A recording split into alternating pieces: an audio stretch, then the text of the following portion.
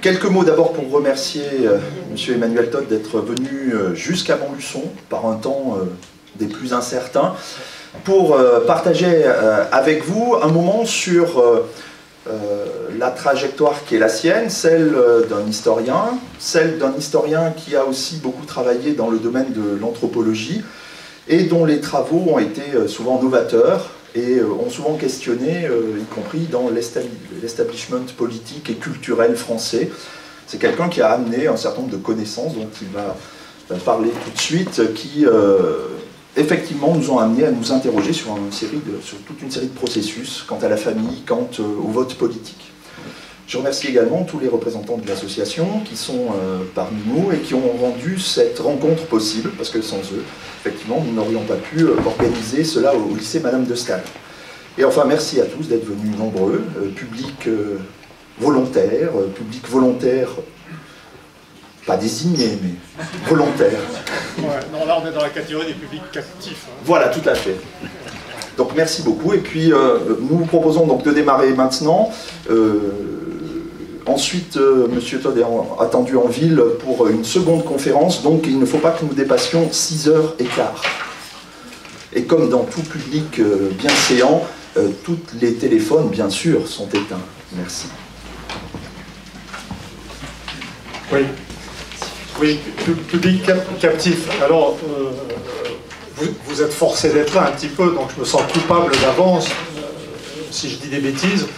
Si, tout le monde était volontaire, était venu pour me voir, je serais beaucoup plus décontracté, en me disant, putain, ils veulent me voir, c'est leur faute. Et là, je vais essayer d'être un peu plus sérieux. Alors, le, sujet qu'on m'a donné, c'est un, sujet général euh, sur, sur l'anthropologie. En un sens, euh, je suis anthropologue, j'ai même dû lire plus de, bouquins d'anthropologie que la plupart des anthropologues, mais je ne suis pas euh, un anthropologue de terrain, c'est-à-dire un anthropologue au sens conventionnel. C'est un type qui part dans un pays lointain, dans une société mal connue, inconnue, euh, c'est une discipline des 19e euh, et 20e siècles, euh, l'anthropologie, qui va passer six mois, un an, deux ans, je ne sais pas, dans une communauté locale, et qui va trouver au fond lui-même les ressources morales pour résister à toute la mauvaise nourriture qu'il ingère, qu'il ingère dans ces trucs et pour trouver, au-delà euh, des morsures de chiens et des diarrhées qu'il aura inévitablement, pour trouver l'énergie de décrire le système social des gens au milieu desquels euh, il vit. Donc il va y avoir une description de, la vie matérielle, de la façon dont les gens euh, arrivent à, se nourrir, de la façon dont, ils se marient, vivent en famille, se reproduisent, il y aura une étude des techniques, ça, peut être un peu tout. Alors, le, problème fondamental, et, bien entendu, c'est quelque chose que je suis tout à fait incapable de faire. Moi, personnellement, déjà, quand j'étais jeune, j'avais peur en avion, vous imaginez le, truc, mais euh, j'ai une immense admiration euh, pour les anthropologues de terrain. Je considère quand même que j'ai fait un petit terrain, c'est-à-dire il y a un peuple étrange que j'ai étudié sur place au milieu d'eux sur plusieurs années, c'est les Anglais, puisque j'ai fait ma thèse en Angleterre, à Cambridge, et les Anglais sont les Anglais, donc euh, ils ont la plus grande école, à mon avis, la plus grande école d'anthropologie, c'est les meilleurs anthropologues de terrain, euh, mais ils sont euh, assez marrants à, regarder en eux-mêmes. Alors, le, problème traditionnel des anthropologues de terrain, c'est qu'il faut vraiment je crois, des, qualités ou une force intérieure tout à fait particulière pour être capable de faire ce qu'ils font, c'est-à-dire d'aller quelque part. Moi, je sais, j'avais une copine à Cambridge, une copine, euh, une amie d'enfance qui était bilingue et qui elle, avait été faire son terrain au Niger, euh, chez des Hausa, des populations proches des. vous en entendez parler de l'autre côté au Nigeria, vous savez, le Boko Haram, les gens qui enlèvent des petites filles. Euh, c'était une époque plus paisible. Donc elle avait été dans, des coins comme ça, elle s'était fait mordre par des chiens, elle était rentrée, c'est une anglaise, au teint frais et rose, euh, elle avait trouvé la force de faire une description de cette société. Je veux dire, c'est tout à fait admirable. Le, problème des anthropologues de terrain, c'est que euh, faire ça Et être capable ensuite de lire les travaux équivalents des autres, c'est-à-dire de lire d'autres monographies. Monographie, on va dans un village, on fait une monographie de tout ce qui s'y passe, de toute la façon dont les gens vivent, et puis d'autres à côté font d'autres monographies dans d'autres villages. Et le problème, c'est que les, euh, ce qui est demandé comme qualité intellectuelle pour faire des études de terrain et pour faire la synthèse des études de terrain, c'est quelque chose de complètement différent. Donc en anthropologie, ce qu'on trouve, c'est des masses de monographies extraordinaires de précision, d'intelligence, etc., mais qui, aboutissent toujours à, pas grand-chose en termes de synthèse, parce que le type qui est pris dans une société locale et qui va décrire, euh, le type de poterie, euh, le type de, tapis, euh, le, mode de mariage, le système religieux, la façon euh, de se nourrir, va inévitablement arriver à l'illusion que tout a un rapport avec tout. Et va produire ce que, j'appelle l'illusion structurale ou fonctionnaliste, c'est-à-dire que tous les éléments de ces sociétés ont des rapports entre eux. Et puis retrouver l'énergie de lire une autre monographie euh, pour constater que dans le village d'à côté, euh, il y a certains éléments qui sont communs, mais d'autres qui ne sont pas communs, pour étudier les processus de diffusion de village à village, de culture à village. Tout ça, ça demande autre chose. Et moi, je, suis, je fais partie. Alors, il y a quelques anthropologues qui ont fait de la synthèse.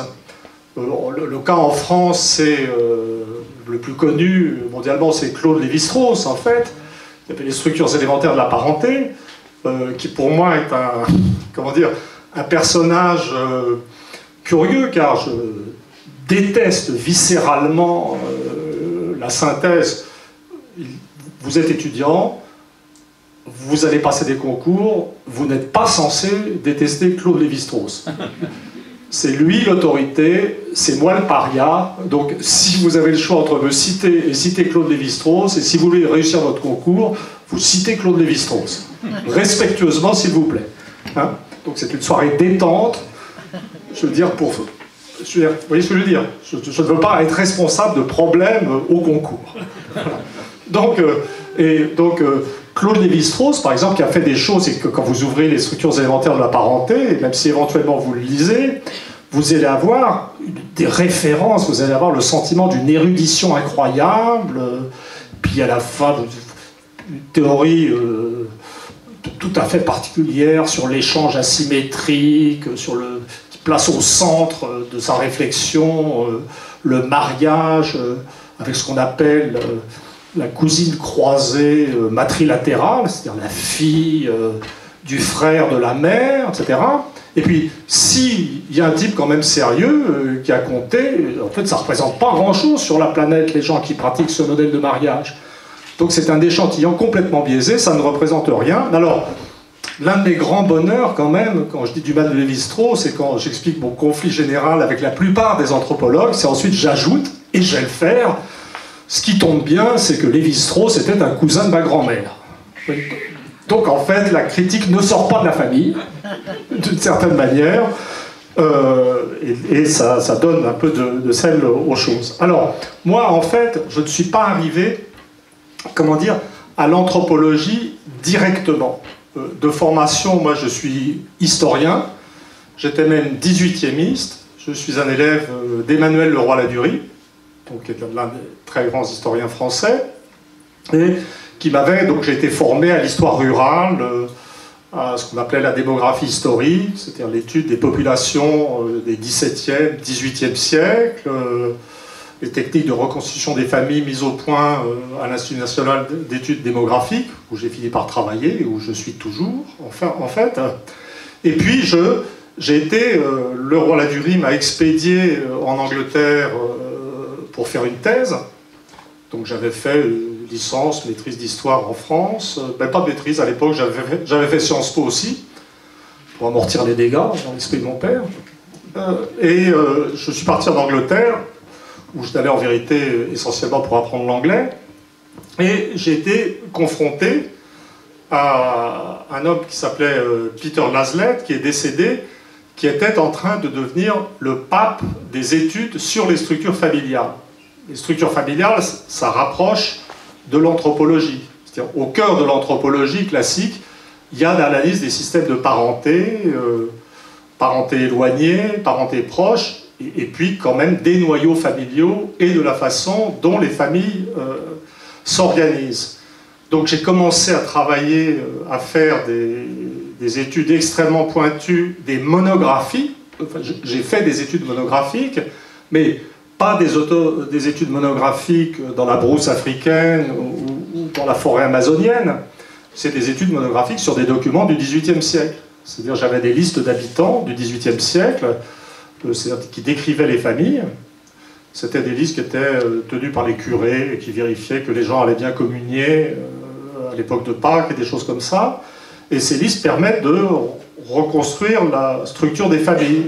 Donc ça permettait en particulier de voir est-ce que les gens au XVIIIe siècle vivaient dans des familles très complexes, très vastes, c'est-à-dire parents, enfants, petits-enfants Est-ce qu'on trouvait ensemble des frères et des sœurs, chacun marié, ou des choses comme ça, vous voyez?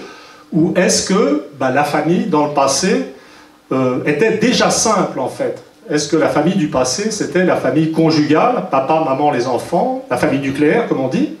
Alors, à l'époque où, mon maître Laslet a lancé ses études, la préconception générale, c'est que la famille, dans le passé, était toujours d'une complexité inouïe, et qu'on avançait dans l'histoire vers la modernité euh, de la famille conjugale.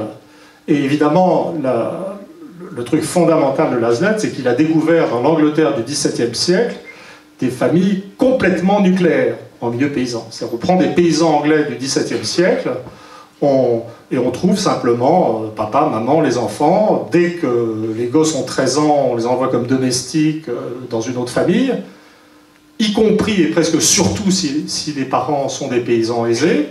Et donc ça a été vraiment un choc. Donc ensuite, Lazlet a voulu imaginer que c'était partout comme ça. Donc il envoyait des étudiants euh, à travers l'Europe euh, pour inventorier les formes familiales, dont moi.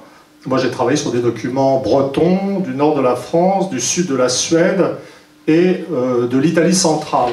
Et en fait, ce qu'on a découvert, c'est que les formes familiales qui euh, euh, occupaient l'Europe du XVIIe, XVIIIe, XIXe siècle étaient d'une très grande variété en fait. il y a des régions effectivement où on trouvait déjà la famille nucléaire. Alors ces régions, ça va être euh, l'Angleterre, le bassin parisien en France. La, France du Nord est, est, un pays de vieilles familles nucléaires. L'Italie du Sud, mais il y a d'autres pays, on trouvait des systèmes beaucoup plus complexes. Un, un système qui s'appelle euh, la, famille, euh, la famille souche.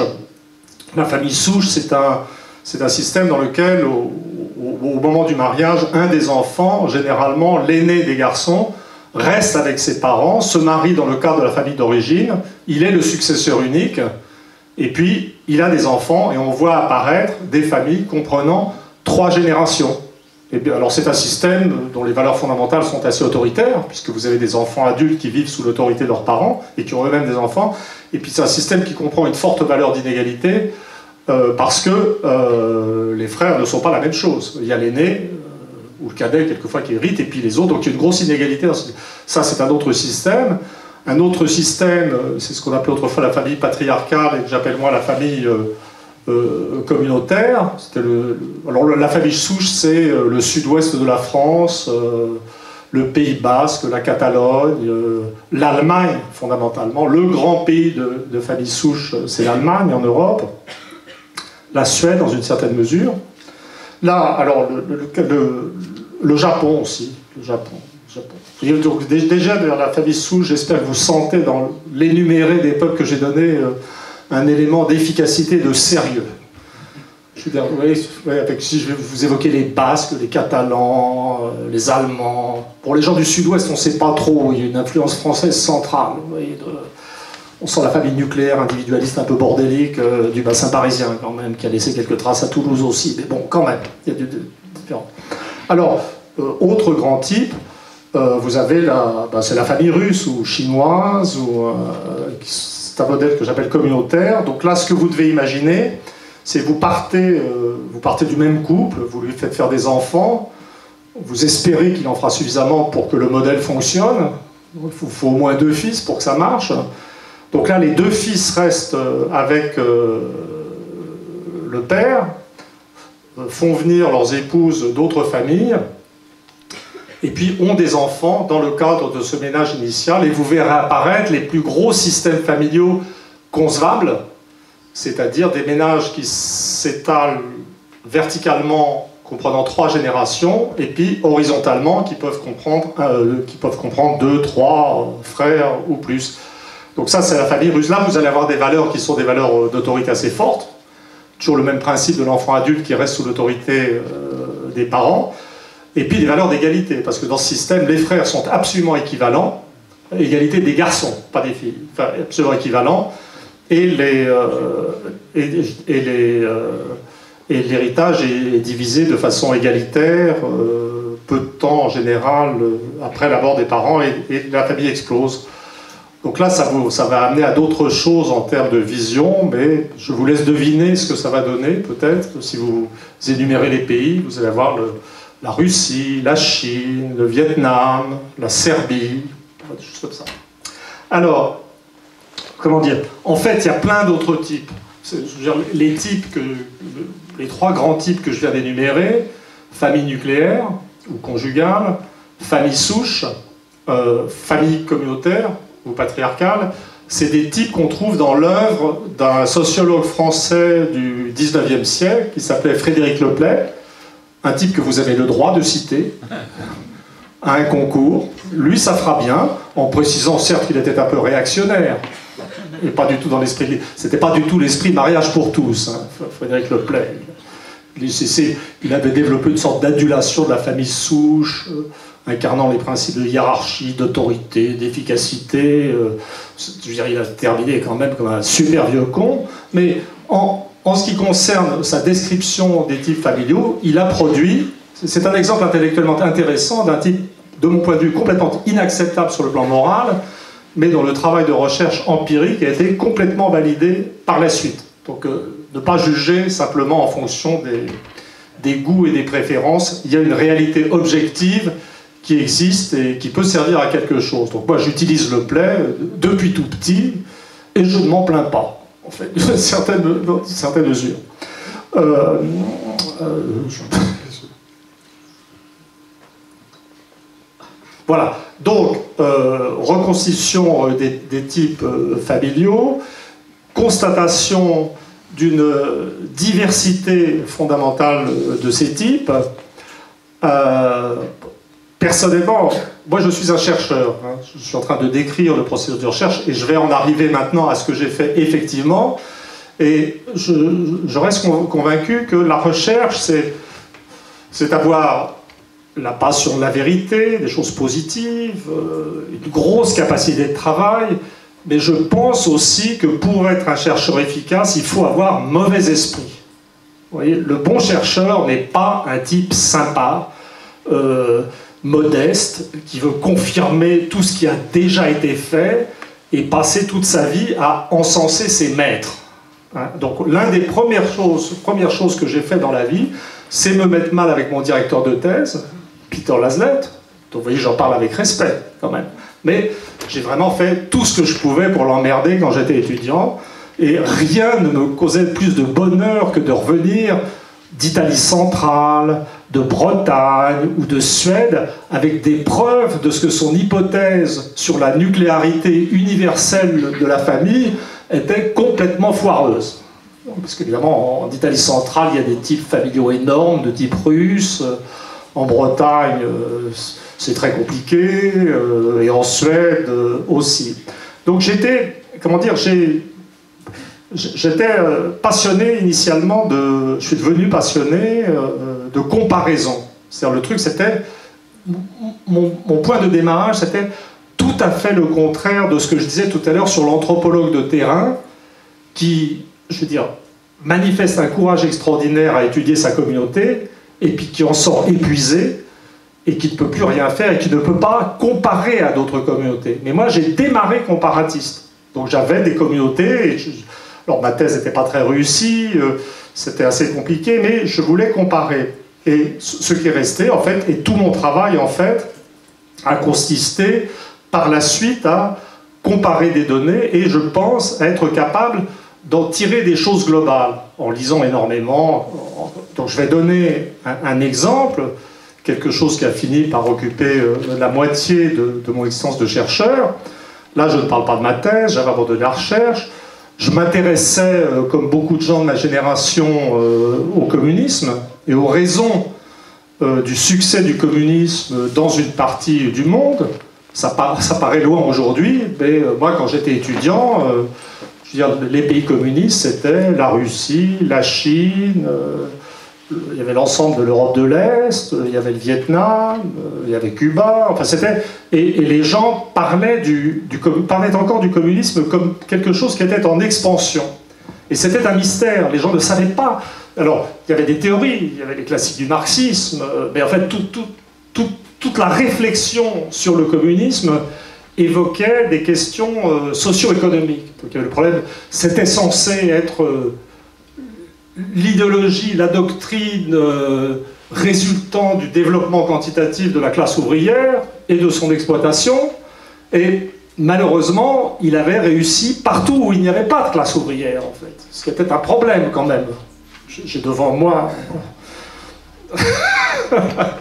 un membre du parti qui me regarde en rigolant.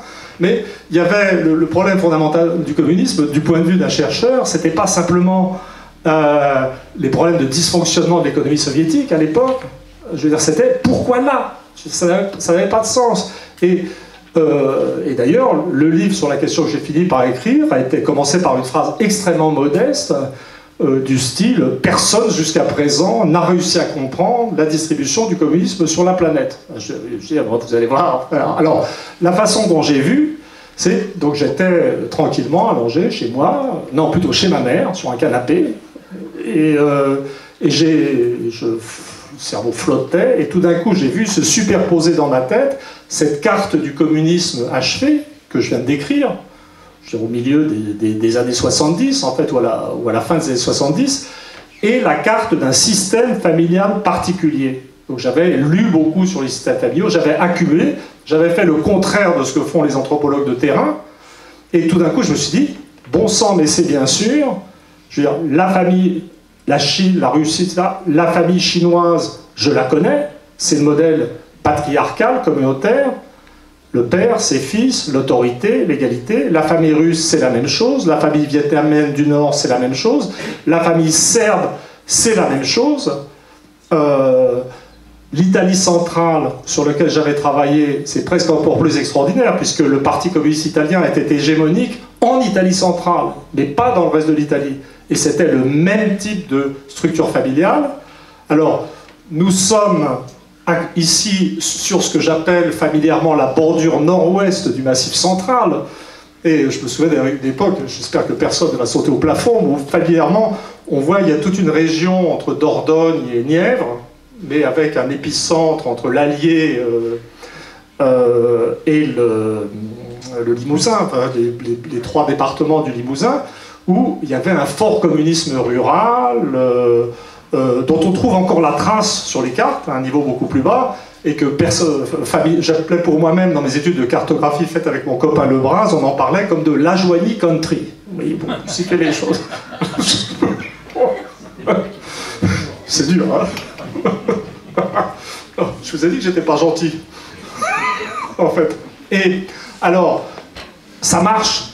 En fait, c'était aussi, on trouve aussi, quand on rentre dans le détail des systèmes familiaux euh, paysans euh, traditionnels de la France. au nord du bassin parisien, vous avez un système euh, nucléaire, individualiste, avec des règles d'héritage égalitaires très fortes. Au sud, au sud-ouest, vous avez la famille souche de type allemand. Et sur cette bordure nord-ouest du massif central, vous trouvez des systèmes communautaires avec des associations qui se distinguent seulement pas euh, des, systèmes russes, euh, italiens centraux ou euh, chinois, par le fait qu'ils ne sont pas patrilinéaires, c'est-à-dire que les liens ne sont pas uniquement entre des frères. C'est-à-dire ça peut être un frère et sa femme et sa sœur avec son mari. C'est-à-dire que les systèmes français communautaires sont ce qu'on appelle en anthropologie bilatéraux ou indifférenciés, c'est-à-dire qu'ils ne font pas la différence entre les hommes et les femmes. Et de façon générale, l'un des traits généraux des systèmes familiaux français, c'est que même dans le passé, euh, le statut euh, des femmes euh, était assez élevé. Donc je pars avec cette hypothèse et, et je voudrais essayer de faire comprendre pourquoi je suis, pour moi-même et pour l'éternité, complètement convaincu de sa validité. C'est important parce que j'ai été copieusement insulté quand le livre est sorti, et donc il faut s'expliquer. Pour tenir contre des gens qui vous disent qu'on a tort, il faut vraiment être sûr d'avoir raison. C'est l'une des possibilités, ou être schizophrène. Je, veux dire, ce qui n'est pas mon cas. Et la raison pour laquelle je suis vraiment convaincu de la validité de l'hypothèse, c'est que finalement, quand je l'ai produite, quand j'ai eu cette illumination sur le canapé euh, chez ma mère, si on peut dire, euh, je ne connaissais pas tous les systèmes familiaux du monde. J'en connaissais une partie. Je savais que mon truc marchait négativement pour l'Allemagne. Je savais que le communisme avait échoué en Allemagne, mais que c'était la famille souche là-bas. Je savais que le communisme avait échoué au Japon, mais que c'était la famille souche euh, au Japon. Je savais que le communisme avait quand même important en France, mais avec quand même échoué. Et donc je voyais bien que euh, dans la France du Nord, la famille était individualiste égalitaire. Et que jusqu'à, jusqu'aux années 30, d'ailleurs la tradition du mouvement ouvrier français était plutôt l'anarchisme en fait que le valeur de liberté et d'égalité. Dans le monde anglo-saxon, la famille était, euh, euh, comment dire, nucléaire, d'autant plus nucléaire que les... il n'y a même pas de règle d'égalité des héritages dans le monde anglo-saxon traditionnellement. Les parents font ce qu'ils veulent. Donc les valeurs du communisme, je le répète, le, lien entre la famille communautaire et le communisme, c'est que les valeurs de la famille, autorité, égalité, c'est les valeurs du communisme décrites de la façon la plus simple. Hein. Donc voilà, donc, et donc j'avais ça en tête. Mais par exemple, je, je, je ne savais pas ce qu'était le système familial taille. Je n'avais aucune idée. Donc ce que j'ai fait, c'est que je me suis installé euh, pendant un an à la bibliothèque du Musée de l'Homme, qui était l'une des, ou la meilleure bibliothèque d'anthropologie de Paris, un lieu où on pouvait trouver toutes les monographies. Donc, nous sommes à l'époque de fichiers cartonnés que vous n'avez pas connus, en fait. Euh. il y avait une dimension poétique. On feuilletait dans des fichiers, on trouvait, euh, quelquefois le livre n'était pas là, tout n'était pas. Vous voyez, donc c'était vrai. Et je prenais simplement tous les pays de la Terre et les régions, euh, les uns après les autres. Ce qui veut dire qu'à chaque pas, j'aurais pu voir euh, l'hypothèse contredite. Vous voyez La Thaïlande. Ce que je savais de la Thaïlande, c'est que le communisme n'avait pas l'air de très bien passer là-bas. C'était devenu d'ailleurs un point d'appui américain pendant la guerre du Vietnam. Mais je prends euh, le fichier Thaïlande, à la bibliothèque du musée de l'homme. J'aurais pu il y avait quatre ou cinq monographies euh, sur des villages euh, thaïlandais. J'aurais pu découvrir dans ces villages la même chose qu'au Vietnam en termes d'organisation familiale. Et dans ce cas-là, ça aurait voulu dire que ce, que je me racontais sur le lien entre famille et succès du communisme était une absurdité. Et, donc, dans le cas de la Thaïlande, ce que je trouve, c'est à peu près le contraire euh, de ce qui existait au Vietnam, quelque chose qui n'a pas véritablement son équivalent en Europe, c'est un système plutôt nucléaire, mais le jeune couple passe un peu de temps avec sa famille après son mariage, jusqu'à la naissance du premier enfant, et puis le jeune couple va plutôt s'agréger à la famille de, de l'épouse, et puis ensuite il s'en va, pas loin, donc le système est extrêmement féministe, mais extrêmement flou, avec pas de règles d'héritage égalitaire.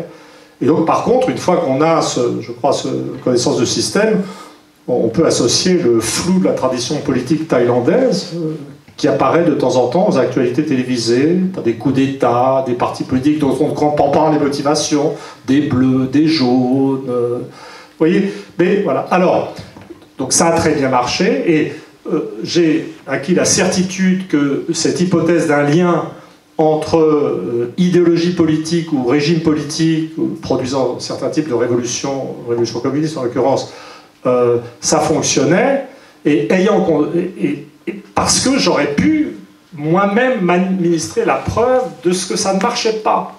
Donc alors j'ai développé, parce qu'évidemment, la, loi d'association entre famille euh, et idéologie, elle ne tient pas que pour le communisme. Le communisme était une très belle clé d'entrée dans les problèmes, parce que ça donnait une carte achevée, il y avait un gros, un très haut niveau d'élaboration idéologique, beaucoup de textes, beaucoup et même une organisation globale à l'époque, en dépit de la brouille euh, euh, entre la Chine et la Russie, il y avait une sorte de, comment dire, de, perfection dans la définition de l'idéologie qui permettait de rapporter un type familial précis, etc. Mais en fait, ça marche tout le temps. C'est-à-dire que euh, vous, prenez la France de, comment dire, de, la Révolution française. Êtes français, le peuple français accouche euh, des, idées des idéaux merveilleux euh, de liberté et d'égalité. Idéaux qu'on ne saurait qu'approuver de mon point de vue.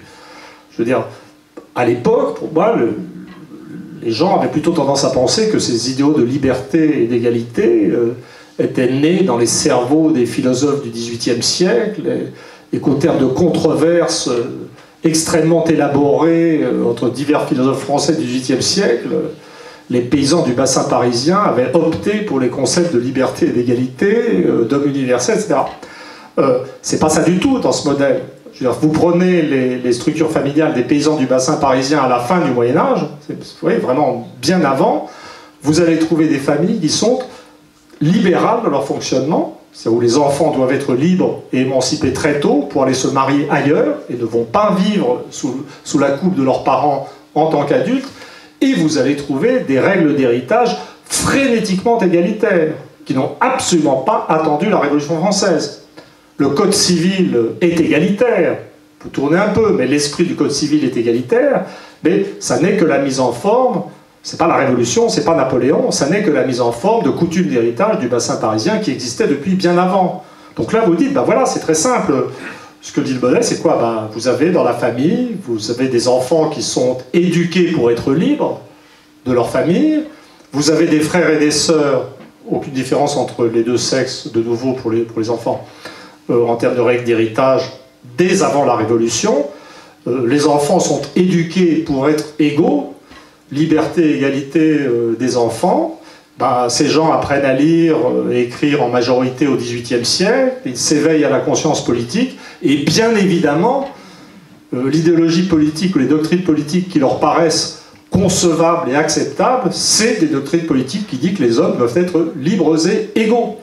de l'autre côté de la Manche, vous avez les Anglais.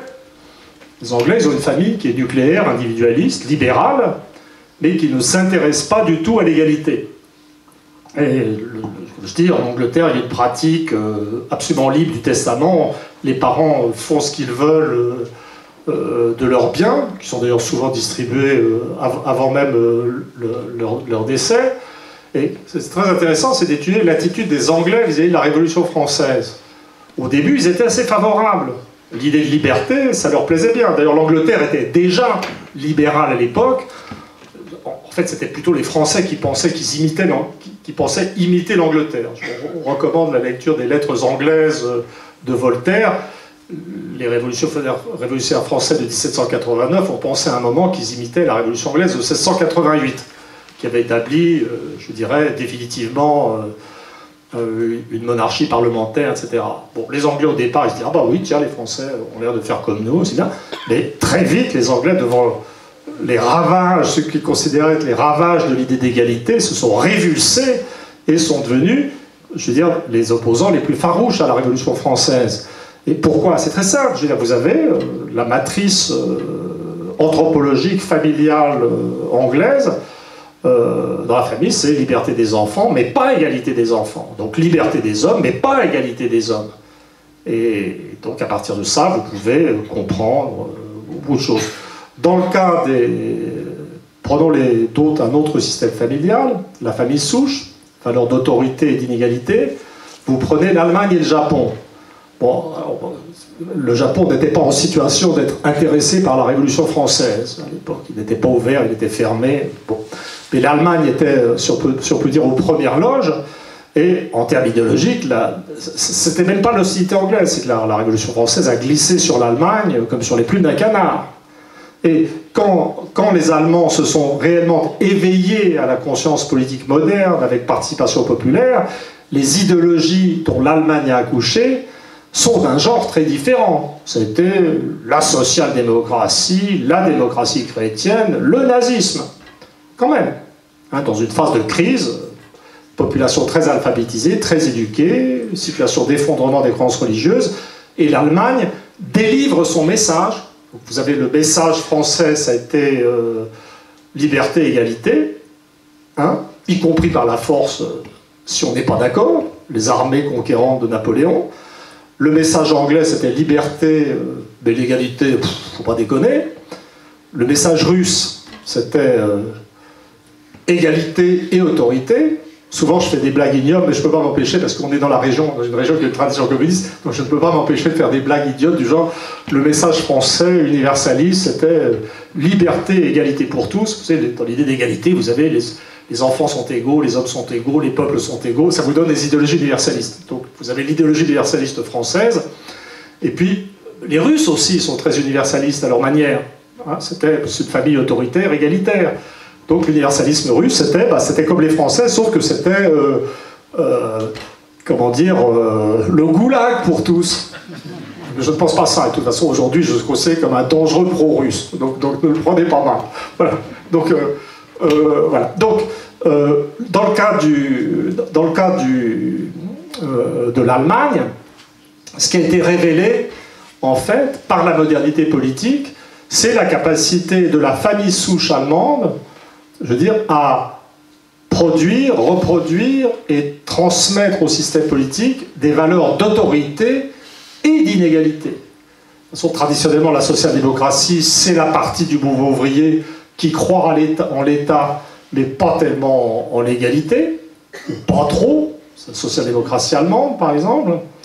La démocratie chrétienne, bon, je passe rapidement, ça serait un peu compliqué de rentrer dans des questions théologiques euh, et autres, mais le nazisme, c'est typiquement une idéologie, est-ce qu'on peut la qualifier de révolutionnaire ou d'ultra-révolutionnaire, je ne sais pas, mais c'est une idéologie qui dit que l'homme doit être soumis, et c'est même pas l'État dans ce cas-là, c'est soumis à la race, appartenir à sa race, et puis avec cette idée que les races sont inégales. Donc le, modèle, en fait, je ne peux en parler que très, très rapidement, euh, euh, courir euh, à travers l'histoire, mais le, le modèle fonctionne à un niveau très élevé de vraisemblance. Hein, quand on fait la géographie électorale, donc, euh, je veux dire, ça marche très bien. Vous, prenez des pays comme la Finlande. La Finlande est très hostile à la Russie, collée à la Russie, mais n'a pas pu s'empêcher d'avoir très longtemps un très fort vote communiste.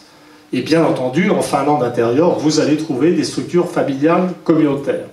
Donc, au-delà euh, de toutes les plaisanteries euh, ineptes que je peux faire sur la politique, euh, il s'agit avant tout d'établir une sorte de corrélation empirique entre la distribution euh, des systèmes euh, familiaux dans le monde et l'émergence dans la phase d'accession des peuples à la lecture, l'écriture, dans le phase de reflux des croyances religieuses traditionnelles, et eh ben, ce que je disais, c'est que cette grille, je dirais, de lecture anthropologique et familiale permet de comprendre ce qui s'est passé.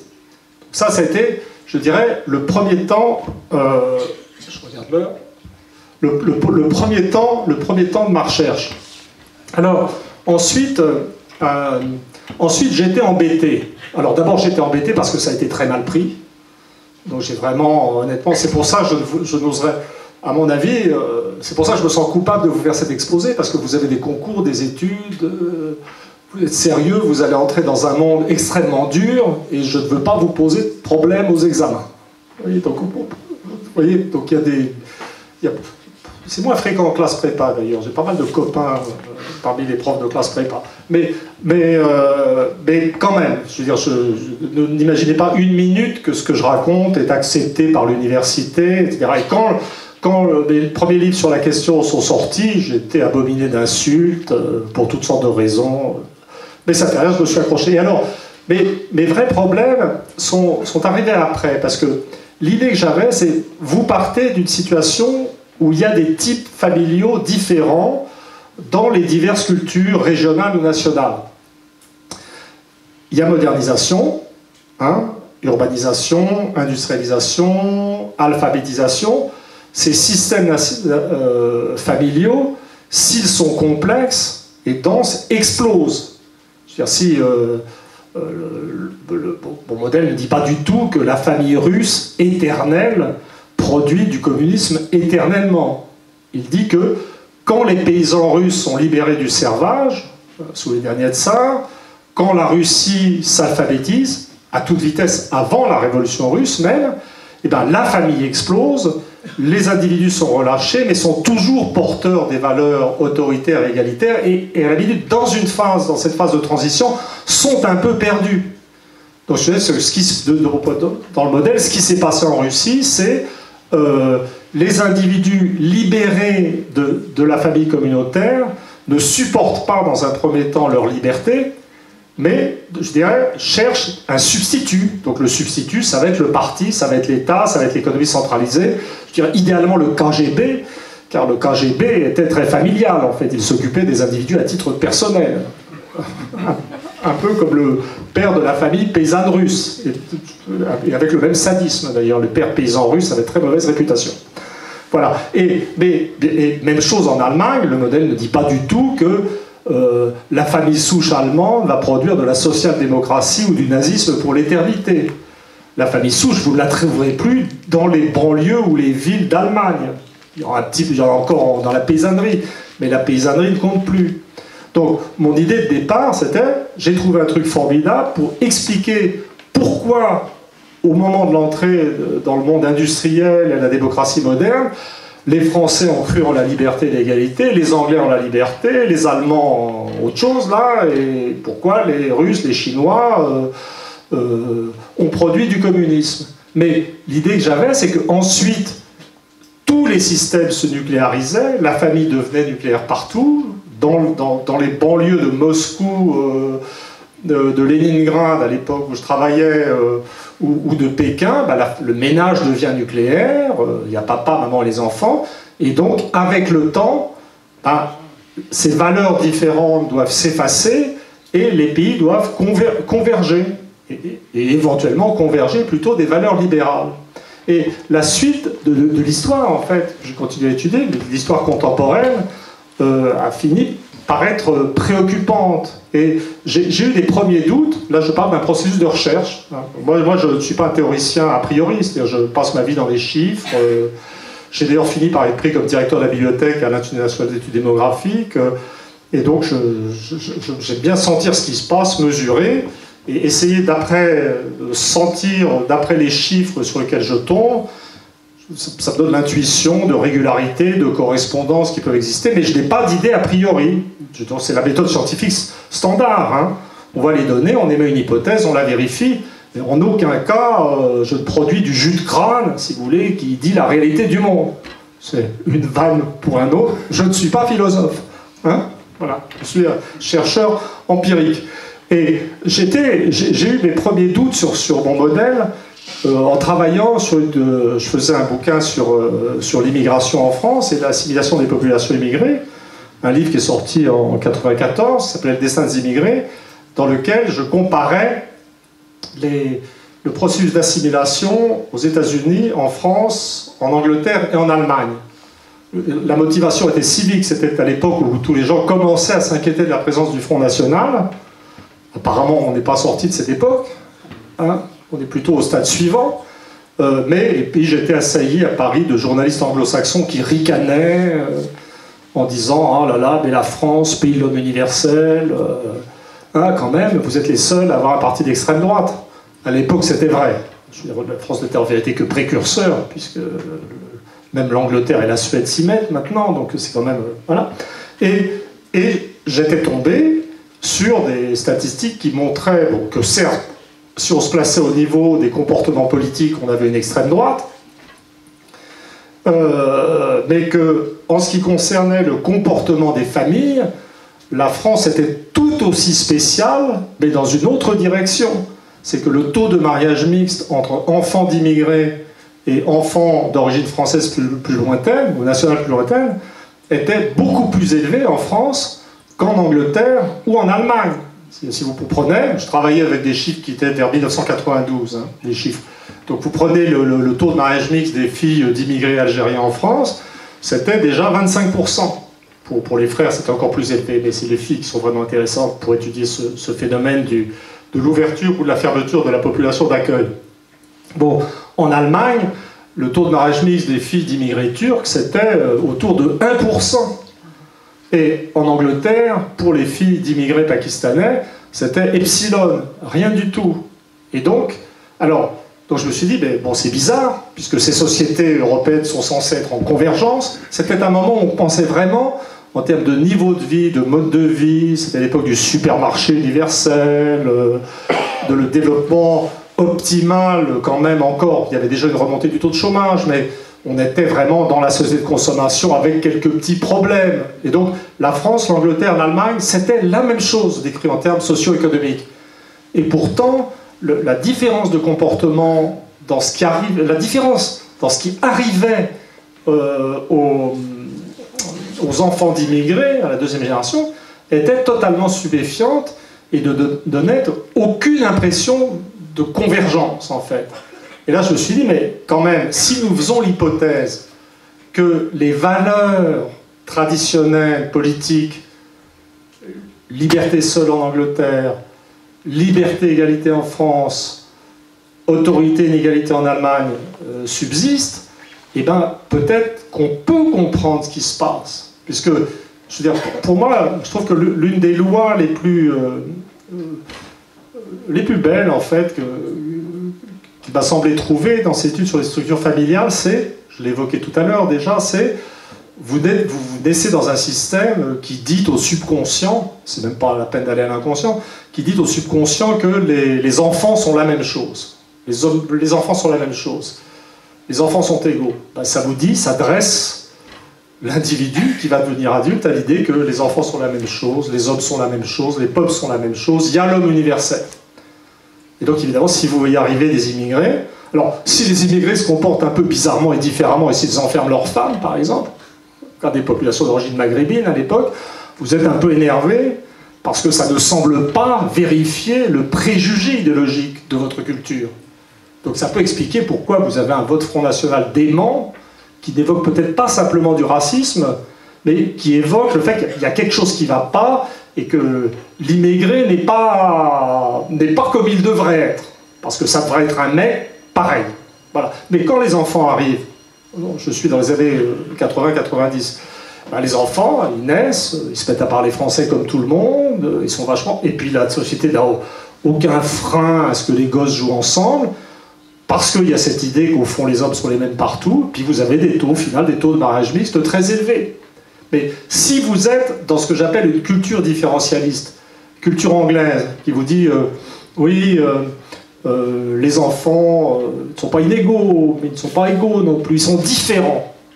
Ils sont différents. Bah, les enfants sont différents, les hommes sont différents, les peuples sont différents, et vous allez avoir la base anthropologique de ce qu'on appelle idéologie multiculturaliste, du genre, qui se présente comme très sympa, genre, bah oui, alors il y a des immigrés qui arrivent, mais euh, il, faut, euh, il faut respecter leur culture, il faut les mettre dans un coin, il euh, ne faut pas trop se mélanger, mais par respect, hein, par respect. Voilà. Et vous pouvez avoir l'explication du taux de mariage mixte insignifiant des Pakistanais.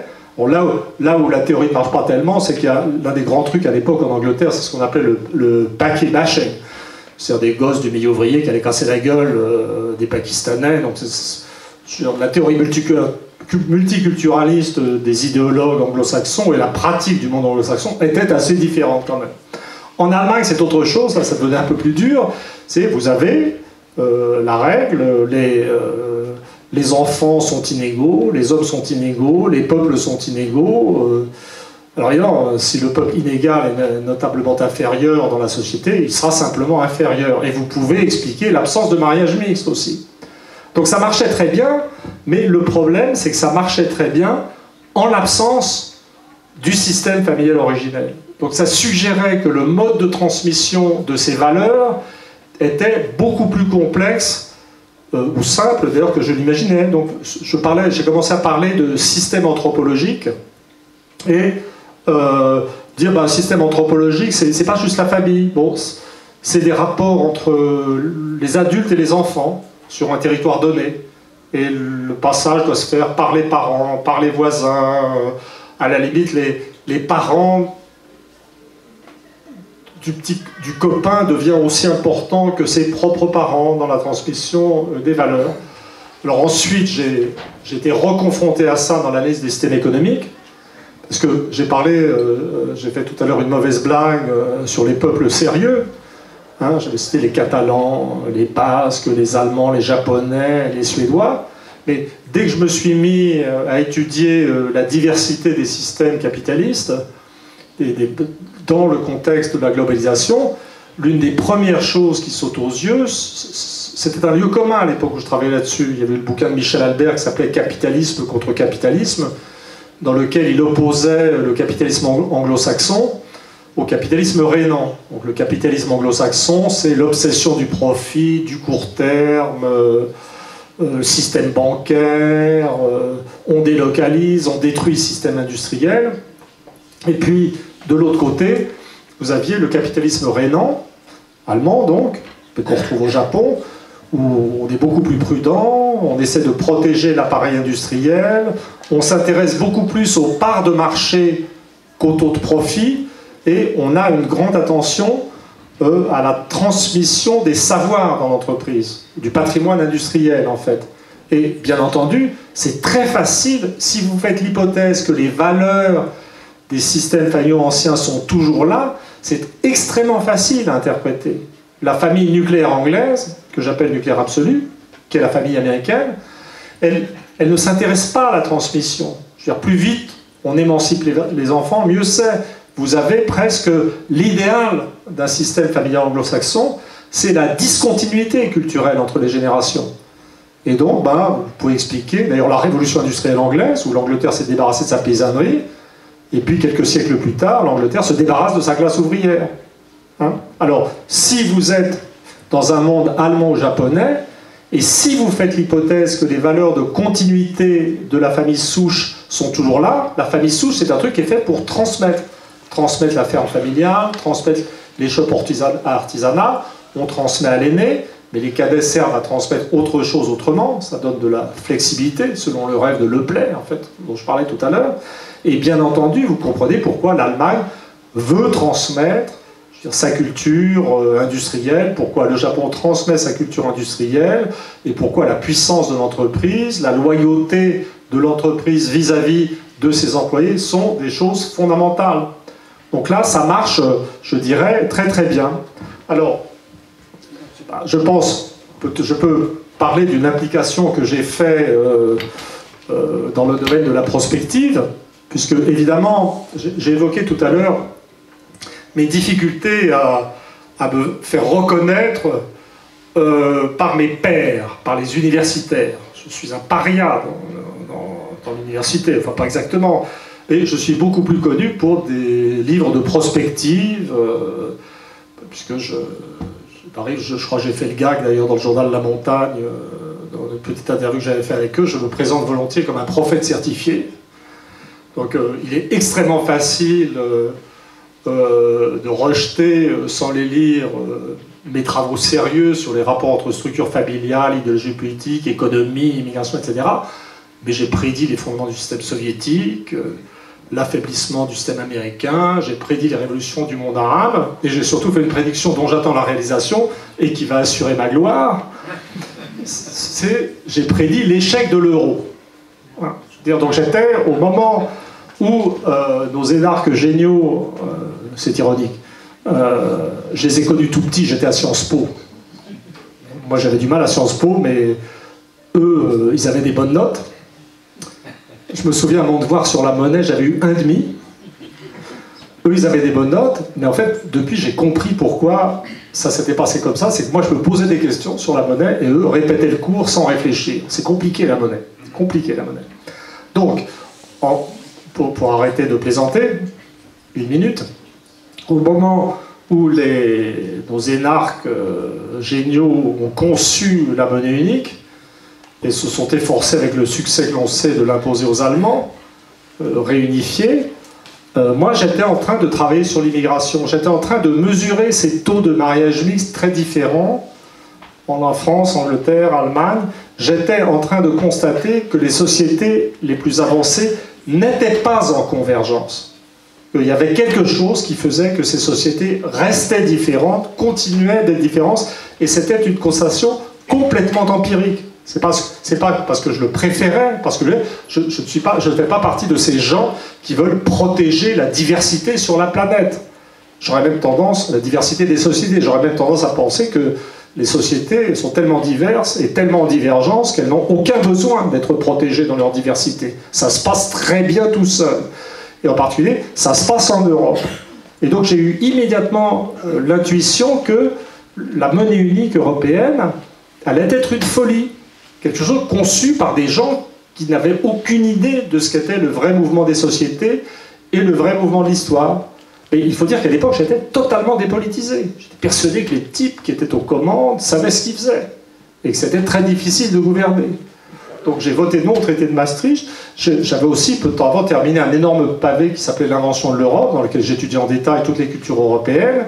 Et j'ai eu le sentiment que ça ne pouvait pas marcher. Et, comment dire, et le fait est que ça ne marche pas, en fait. Et ça ne marche pas parce qu'en fait, il y a quand même ce à quoi, aboutit euh, au final euh, mes recherches, c'est à admettre l'existence dans les sociétés humaines d'autre chose que la rationalité économique, que cette rationalité économique d'ailleurs soit industrielle ou, financière. Il y a autre chose dans la vie des gens que euh, travailler, fabriquer des objets ou faire du fric. Oui, je mets sur le même plan les activités nobles, travailler, fabriquer des objets. On est dans le domaine, dans le registre de la noblesse, c'est très bien. J'ai un grand respect pour les gens et les sociétés qui sont capables de faire des choses, de fabriquer, de produire de la richesse. Je n'ai pas un égal respect pour le fait de faire de l'argent, mais il en faut. mais, mais je mets les deux dans la même catégorie. Mais il y a autre chose. Il y a une dimension complètement irrationnelle, affective de la vie sociale, qui n'est pas simplement la vie familiale, qui est la vie qui peut être la vie entre voisins, et qui est quelque chose qui semble tout à fait résister à la modernisation. C'est comme, comme si... C'est tout à fait paradoxal, puisqu'on vit, euh, vit à l'époque... Euh, j'ai même réussi à m'adapter, euh, avec l'aide de mes enfants, à l'informatique. je suis tout à fait capable de piapiater sur Skype avec des gens qui sont à l'autre bout de la planète. Et on pourrait croire que ces moyens de communication extraordinaires entre les gens mènent je dirais, à la convergence, au rapprochement, à la disparition. Mais ça, ça aurait pu, pourquoi pas? Mais c'est pas ça qui se passe. Et actuellement, ce qui est en train de casser l'Europe de l'intérieur, je veux dire, c'est un processus de divergence fondé dans cet irrationnel, et qui sont des irrationnels collectifs. Et donc, inexorablement, l'Europe du Sud euh, se détache euh, de l'Europe du Nord, pas parce qu'elle est moins intelligente ou moins travailleuse, mais parce que ses objectifs et ses contraintes sont différents. L'Europe du Nord redevient l'Europe du Nord. La carte de la richesse en Europe redevient actuellement la carte de l'opposition traditionnelle entre pays protestants et pays catholiques, avec cette nuance que l'Allemagne est pour une part euh, catholique. L'Allemagne émerge ou réémerge. C'est absolument tragique quand on connaît l'histoire du XXe siècle puisque pour moi, là j'en parle plutôt avec douleur qu'avec satisfaction, mais l'idée que ces contraintes existent et elles permettent d'expliquer pourquoi, euh, parlons concrètement, et sans osciller, pourquoi l'Europe n'en finit pas d'avoir un problème avec l'Allemagne. Pas, du tout parce que l'Allemagne est méchante, mais parce que l'Allemagne est trop efficace, et puis qu'avec cette efficacité va une certaine incapacité à définir des perspectives communes, une certaine incapacité à regarder les peuples comme égaux. Donc il y a une sorte de tendance, et, et, je vois sous mes yeux horrifiés l'Europe se réorganiser en fonction des concepts de hiérarchique, autoritaire et inégalitaire, qui sont les concepts qui dominent traditionnellement la vie sociale en Allemagne. Voyez? Mais encore une fois, euh, pour moi, il s'agit, je veux dire, de constatations empiriques qui amènent des réponses de citoyens et une hostilité viscérale à ce qui est en train de se mettre en place. Mais en tant que chercheur, plutôt c'est ce que je peux comprendre en tant que chercheur qui paraît utile ou qui pourrait être éventuellement utile pour le débat. Ça n'est pas mes préférences personnelles. Il me reste quelques minutes pour parler du pan de mes recherches actuelles réelles. Je, je ne suis qu'un chercheur. Moi, dans la vie, je n'ai fait qu'une douzaine de bouquins et quatre enfants. Comme dit, euh, comme dit un ami, je suis démographe pratiquant. Donc, euh, je veux dire, euh, sans que je puisse définir le modèle familial auquel ces enfants correspondent, malheureusement. Voilà. La vie est dure. donc, donc, on a, premier stade de la recherche, on constate que la distribution des types familiaux dans le monde permet d'expliquer la diversité du monde dans la transition vers la modernité. Deuxième étape, on constate que même quand ces systèmes familiaux ont disparu, ils semblent continuer d'agir. On fait des hypothèses sur... Mais ça, ça n'a rien de choquant. Si vous étudiez la gravitation universelle, vous avez des lois parfaitement définies, des belles formules mathématiques, on ne sait toujours pas ce que c'est en réalité. Donc on est, pour moi, on est dans un univers scientifique comme ça. On constate que ça se perpétue, donc c'est le deuxième stade. Mais quand même, la question auquel on se sort, c'est pourquoi cette diversité des formes familiales initiales? Je vais essayer d'évoquer ça euh, rapidement. C'est quand même embêtant parce que euh, ça, ça ne me plaisait pas. Ça ne me plaisait pas, euh, ça fait un peu... on évite de soupçonner le racisme quand on dit, ouais, regardez, le système familial anglais est comme si, les Français sont comme ça, les Allemands autrement. Alors, dans le modèle, il y a des implications tout à fait antiracistes. Je veux dire, par exemple, la famille souche efficace, hein, c'est l'héritage de moi j'en ai trouvé toutes les couleurs. Hein. Ça peut être des Allemands ou des Basques, mais ça peut être des Japonais, et je vous trouve sans problème en Afrique des régions de famille souche particulièrement efficaces. Je ne sais pas si vous avez entendu parler des Babilékés du Cameroun, mais c'est des sérieux. Les Rwandais aussi d'ailleurs, dans toutes les dimensions. Ils font tout sérieusement comme les Allemands. Hein. J'espère que vous appréciez. Non, non, mais agriculture extrêmement efficace, euh, des centaines d'habitants par kilomètre carré. Donc, mais quand même, c'est fondamentalement, ça m'était désagréable d'enfermer euh, ou, de donner l'impression que j'enfermais des peuples dans des catégories immuables. Et donc la question c'était pourquoi ces systèmes familiaux? Alors honnêtement, ce n'est pas moi qui ai trouvé la réponse. J'ai trouvé déjà l'énergie de faire le premier tome d'un ouvrage sur la question à partir d'une hypothèse qui m'a été donnée par quelqu'un d'autre, premier tome de 750 pages, euh, je, dois le dire, dans un livre qui s'appelle systèmes familiaux, et je dois l'explication, la clé de systèmes familiaux à un ami linguiste, un type qui s'appelle Laurent Sagar, S-A-G-A-R-T, et qui est spécialiste des langues asiatiques et qui travaille, lui, euh, euh, bah, c'est un très grand de la généalogie des langues asiatiques, mais il est linguiste, il avait une certaine compétence. Et ouais, 5 minutes pour le principe du conservatisme des zones périphériques, euh, ça va être possible. Et donc, moi je croyais que ma distribution des types familiaux sur la planète, je veux dire, était au hasard. Donc j'avais un autre modèle communautaire euh, avec des barrages entre cousins en plus dans le monde arabe, etc. Et, je disais, bon écoutez, ça correspond à rien, ça correspond pas au climat, ça correspond pas aux langues, ça correspond pas au niveau de développement, c'est le hasard. Si un chercheur vous dit c'est le hasard, vous pouvez lui dire, euh, vous pouvez dire, mais c'est pas la peine de demander de l'argent à l'État euh, pour être payé et faire des recherches si vous n'avez rien trouvé. Donc euh, chaque fois qu'un type vous dit c'est le hasard, je peux rien dire, demandez-lui pourquoi l'État le paye à faire de la recherche. C'est mon cas. Et donc il dit non mais écoute, tu te trompes, regarde là. Tu vois, ce qui était très intéressant, c'est que c'est ça la recherche et l'interdisciplinarité. Il ne savait pas ce qu'étaient les systèmes familiaux, il s'en foutait. Il voyait des taches de couleur sur ma carte. Il me dit, regarde là, euh, euh, tu as du bleu et du vert euh, en Angleterre, en France, en Espagne, au Danemark, aux Pays-Bas, puis tu as des couleurs équivalentes là en Asie du Sud-Est, trucs comme ça. Puis là, tu vois, tu as du vert foncé des deux côtés en Allemagne, au Japon. Puis tu as une grosse tache rouge et marron d'un seul tenant, là, des systèmes communautaires. Pour lui, c'était des mots hein, communautaires en, Russie, en Chine, sur l'ensemble du Moyen-Orient, euh, euh, l'Afrique du Nord. Il me dit, mais ça, nous, euh, les linguistes, on connaît très bien ces cartes. En vérité, autrefois, les anthropologues les connaissaient, mais je ne le savais pas parce qu'ils ils ont oublié. c'est, bah, écoutez, vous imaginez, imaginez une pizza, pour représenter les choses. Oui, je sais, c'est l'heure, ça va nous rapprochons du stade de la pizza. Donc ce n'est pas une pizza normale, vous mettez du rouge, euh, de la tomate dans le fond, et puis vous distribuez, euh, vous mettez 5 taches blanches avec de la mozzarella euh, sur la périphérie. Donc vous avez une représentation visuelle. Vous mettez sur la mozzarella le caractère A, et puis vous mettez B sur la tache rouge. Donc vous avez une tache rouge d'un seul tenant, et puis vous avez des bouts de blanc sur la périphérie.